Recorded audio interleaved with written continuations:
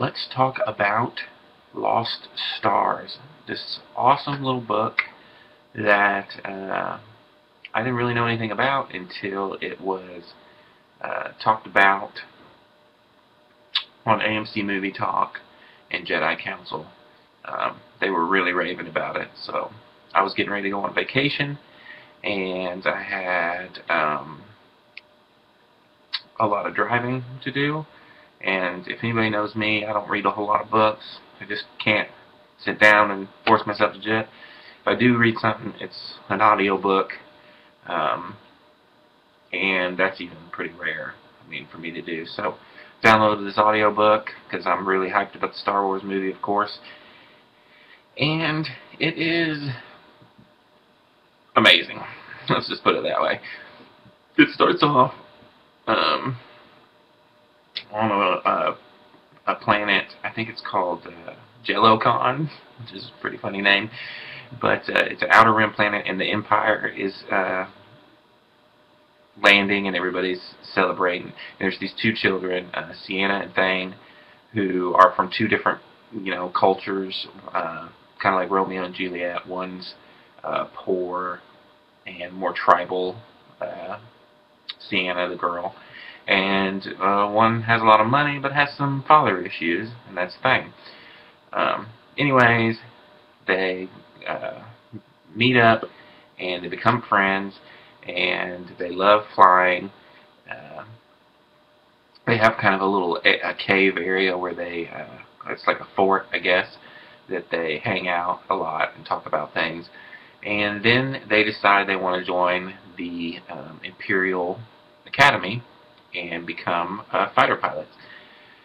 And so it jumps time a lot, this book does. So we jump into them uh, being in the academy and uh, training, and there's a certain scene in the uh, uh, book during the academy where already Thane is questioning the Empire, the Empire and their tactics.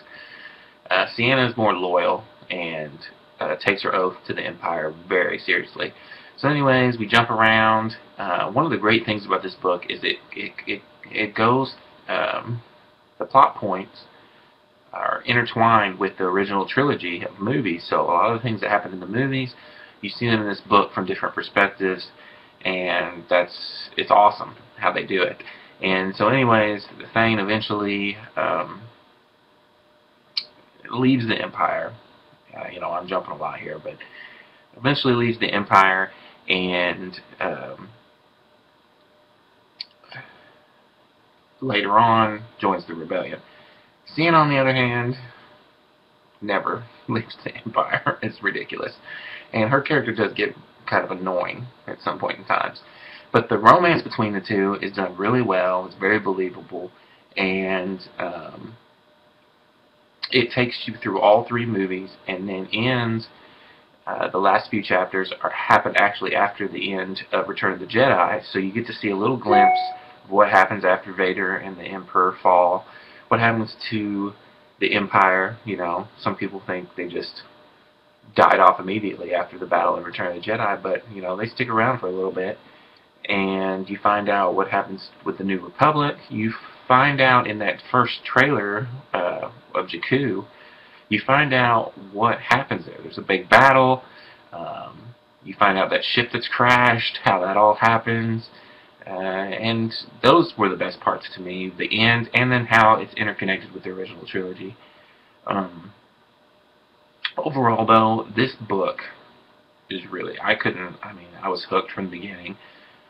You know, listened to it the entire car trip, and uh, really, really enjoyed the book. I hope we get a sequel. Claudia Gray was the author, and she was interviewed on Jedi Council, and hopefully we get a sequel, or even if we have to wait a while, and maybe we get a sequel, you know, 10 years down the road with uh, how, uh,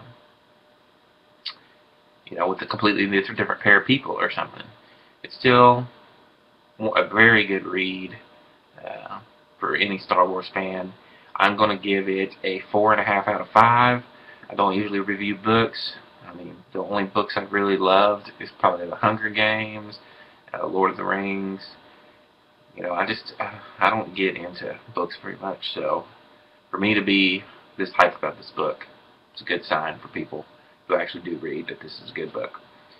Anyways, four four and a half out of five, and peace out.